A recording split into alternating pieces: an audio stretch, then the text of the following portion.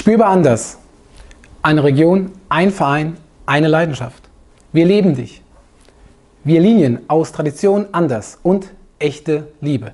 Es gibt keine Branche, die so stark Emotionen transportiert. Es gibt keine Branche, die die Emotionen so stark bündelt. Aber spürbar, wie spürbar ist die Marke in Ihrem Unternehmen? Leidenschaft. Wie leidenschaftlich transportieren die Mitarbeiter ihre Marke? Leben. Wie leben die Mitarbeiter ihre Marke?